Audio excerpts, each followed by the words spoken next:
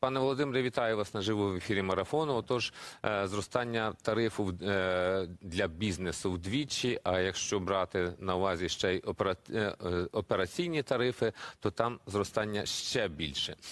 Чим обумовлено все ж таки настільки різке зростання тарифів на електроенергію для бізнесу, якому і так нелегко під час війни, бо доводиться купувати хоча б ті ж генератори, зважаючи на перебої з енергопостачанням. Добрий вечір. Дякую за запитання. Хочу одразу зазначити, що ні про яке збільшення е, ціни на або вартості електроенергії для бізнесу вдвічі взагалі не йдеться. Е, Дозволю собі декілька пояснень. Е, На сьогоднішній день кінцева ціна для більшості українських підприємств коливається в межах 5-6 гривень за кіловат годину. В цю ціну входить е, як ціна власне виробленої електроенергії на електростанціях, так і тариф на розподіл електроенергії мережами обленерго, і тариф Укренерго, тобто тариф на передачу магістральними мережами. Цей тариф Укренерго складає в середньому менше 10% від вартості електроенергії для бізнесу.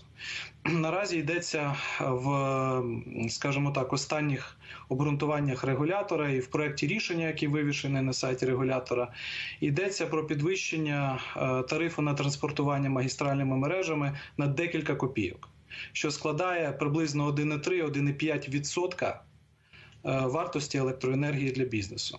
Тож е, хочу, можливо, трошки розчарувати, сенсація відміняється. Навпаки, Це рішення ще не я вам скажу, що бізнес вам подякує за те, що ви вчасно його попередили, що сенсації не буде, йому не доведеться платити. Це ті новини, які ми називаємо добрими новинами.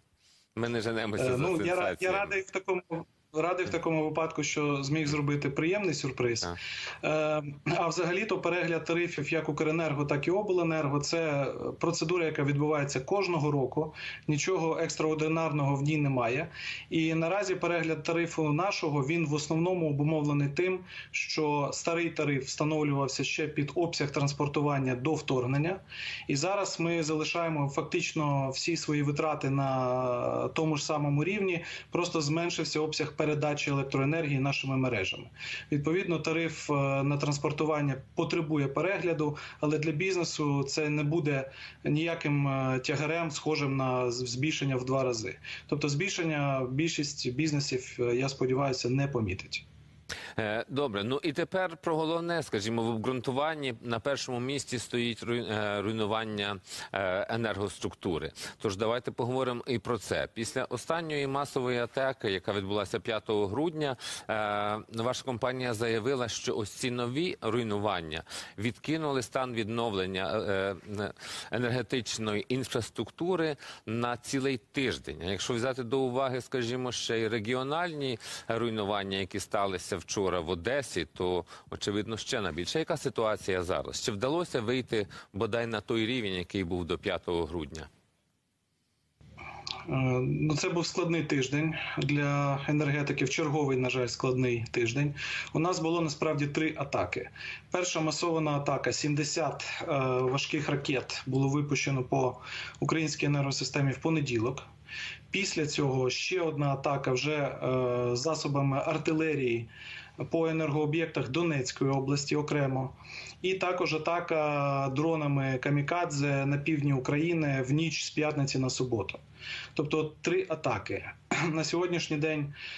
е, Ми змогли відновити е, більшу частину генеруючих потужностей, але на жаль, що стосується теплоелектростанцій, е, станом на зараз їхня здатність виробляти електроенергію все ще не повна і залишається нижчою ніж та, яку ми мали на початок тижня до цієї масованої першої атаки.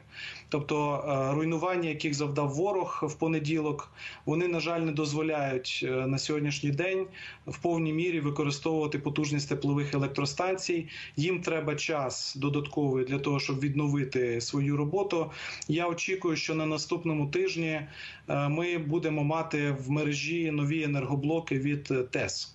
Ще щодо атомного відзначити, блоку, там же не тільки що- що- через обстріли е, був відімкнений також один е, е, блок на атомних електростанціях. Яка з цим Значить, ситуація? Щодо... Щодо атомних блоків, вони бул вони відновили свою роботу всередині тижня після понеділкового обстрілу. Е, У нас вчора, е, за повідомленням енергоатому, напевно, ви вже бачили, що виходив е, ненадовго з роботи один з атомних блоків. Це не було пов'язано безпосередньо з обстрілами. Зараз це пошкодження усунуте, і цей блок уже в роботі.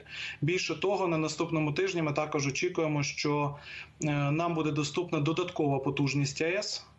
Е, Скажімо, на початку чи всередині тижня, і це теж е, ну очікуємо, що позитивно вплине на зменшення дефіциту електроенергії, який сьогодні спостерігається в енергосистемі. Е, Окрім, е, окрім рашистських руйнувань, погода також ще додає е, ще один фактор. Скажімо, в західній Україні, на Львівщині, на Волині завдано збитків енергетичній структурі через обледеніння дротів. Яка там ситуація зараз? Ну, на жаль, кожного року ми стикаємося з несприятливими погодними умовами, через що додаткова якась кількість споживачів може бути е, відімкнена від мережі. Е, Станом на зараз катастрофічної ситуації на заході немає. Хоча, звичайно, ці несприятливі погодні умови вони вносять свої корективи в роботу е, обленерго, як на Львівщині, Франківщині, так і на Закарпатті. Тому е, це додатковий негативний фактор. Він не є визначальним і е, з чим з чим з обледенінням енергетики вміють е, справлятись досить швидко. Думаю, що як тільки виправляться погодні умови, одразу ж вплив цих цього фактору буде усунутий.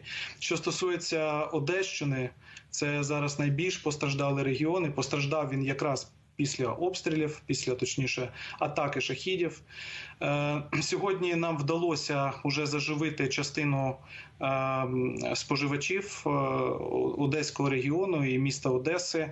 Завтра очікуємо на е, додаткові е, можливості щодо передачі електроенергії в місто Одесу. Тому завтра ситуація там, як очікуємо, буде покращуватися. І, звичайно, робимо все на рівні Укренерго і Одеса Обленерго для того, щоб е, ну усунути і змінімізувати от е, наслідки цієї е, жорстокої атаки. Будемо сподіватися, е, що нових атак не буде і вдасться е, за- завершити е, заплановані роботи. Е, Про відновлення енергозабезпечення в різних регіонах е, е, України ми говорили з Володимиром Кудрицьким, головою правління Національної енергетичної компанії Укренерго.